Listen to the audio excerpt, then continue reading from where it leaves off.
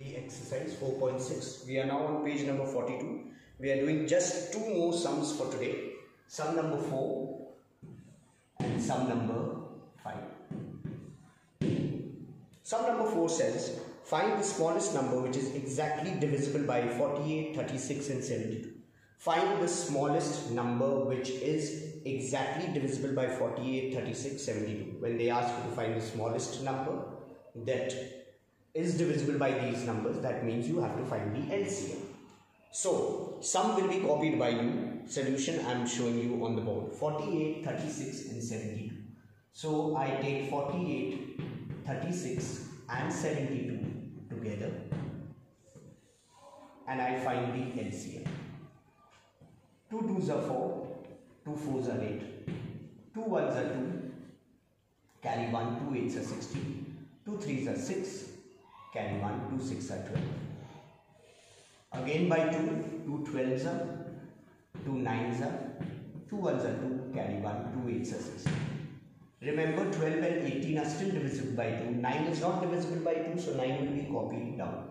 So 2 6 are 12 9 comes down 2 9s are 18 now as you can see only 6 is divisible by 2 but not 9 and this 9 so both these 9s will be copied down so 2 3s are 6, 9 comes down, 9 comes down. Now none of the three numbers are divisible by 2. The next prime number is 3. So 3, 1s are 3, 3 3s are 9, 3 3s are 9. I've got 1 already which will go to the end of the sum. Again by 3, 1, 1, 1. So my LCM out here is 2 multiplied 4 times, 1, 2, 3, 4 and 3 multiplied 2 times. So LCM would be multiply the 2's and get one answer. 2 2's are 4, 4 2's are 8, 8 2's are 16 and multiply the 3's and get one answer. 3 3's are 9. So my LCM would be 9 6 are 54 carry 5 9 ones are 9 and 5 14 144 now since it is like a word problem, it's saying find the smallest number which is exactly divisible by 48, 36 and 72. So the smallest number you have to write this last, the, the final statement, the answer to the question or the answer to the statement that they have made in sum number 4. So the smallest number that will be divisible by. Divisible by. 48 36 and 72 is 144 is 144 so you have to write this final statement because that's the statement required. The smallest NO means number. So the smallest number that will be divisible by 48, 36 and 72 is 144. Coming to sum number 5 that is a very interesting sum and it happens to be the only sum. It says find the smallest number which when divided by 24, 36, 54 and 60 leaves a remainder of 4, leaves 4 as the remainder in each case. Now in this case I will take all the 4 numbers find the LCM of those four numbers and that number will be exactly divisible by these numbers without leaving a remainder. Without leaving a remainder. So all I will need to do is find the LCM and add that number to it so that it does not be any more exactly divisible by the numbers that are given but will leave a remainder of 4 like if I have the number 9 9 is divisible by 9 but if I want a remainder of 4, so I will add 4 to it. So what will 9 and 4 become? 13. Now when I divide 13 by 9, 9 ones are 9 and 13 take away 9 will be 4.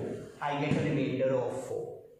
So what this sum is trying to tell you is find the least common multiple, the least number that will be that will that will be exactly divisible by all these numbers so I will find the LCM, but that will be exactly divisible by these numbers.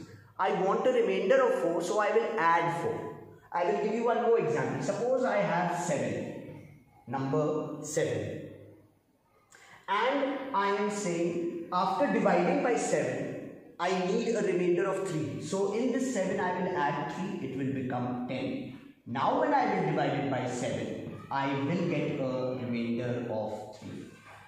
So in order for me to get a remainder, I have to add that remainder to the number that is divisible by all these numbers exactly.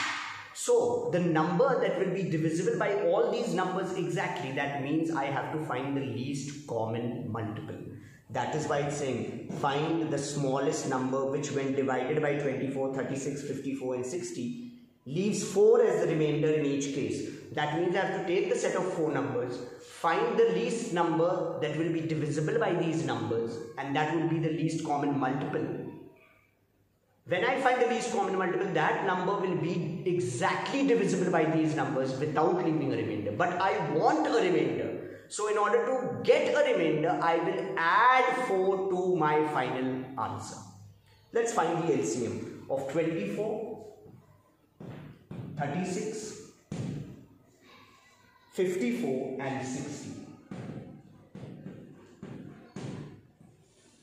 First divisible by 2, 2 12s are, 2 1s are, 2 8s are 16, 2 2s are 4, 2 7s are 14, 2 30s are 60. Still 12, 18 and 30 are divisible by 2. 27 is not, that will be copied down. So 2 6 are 12, 2 9s are 18, 27 comes down, 2 1s are 2, carry 1, 2 5s are 10. Now 9, 27 and 15, none of them are divisible by 2 because all are odd numbers. But 6 is divisible by 2. So 2 3s are 6, copy down 9, copy down 27, copy down 15. Is if a number is not divisible by a particular number, then it has to be copied down and only then you go to the next prime number when none of them are divisible by that particular prime number. So we were dealing with 2, now none of these numbers are divisible by 2, so I need to stop dividing by 2. I go to my next prime number that happens to be 3. All are divisible by 3. 3 1s are 3, 3 3s are 9, 3 9s are 27, 3 5s are 15. Now I've got my first one which will go right till the end of my sum. 3 divides 3, 3 divides 9, does not divide 5, 5 will be copied down. So 3, 1 copied down, 3 1s are 3, 3 3s are 9, 5 copied. 3 is still divisible by 3, so 1 copied down, 1, 5 is not divisible by 3, it's a prime number, comes down. The last number, 5. So I get 1, 1, 1, 1. So my LCM out here will be 2 into 2 into 2 3 times, 3 into 3 into 3 3 times and 5 only once. 2 2s are 4, 4 2s are 8, from year to year 8. 3 3s are 9, 9 3s are 27, till year 27. And 5. Now we all know 8 5s are 40, so all I have to do is take 40 and multiply it by 27. 7 zeros are, 7 4s are 28, cancel, 2 zeros are 0, 2 4s are 8. My answer 0, 8, 10. 1080. 1080. Now 1080 will be divisible by all these numbers exactly without leaving a remainder. But I want a remainder of 4. So what do I do? I add 4 in my final answer. I write 1080 is exactly divisible by 24, 36, 54 and 60. To leave a remainder,